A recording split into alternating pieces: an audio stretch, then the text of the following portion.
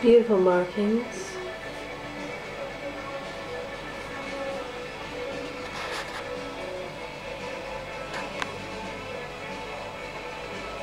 Massive.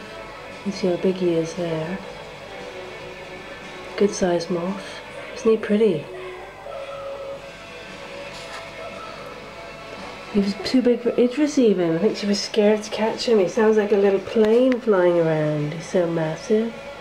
Look at you, big guy.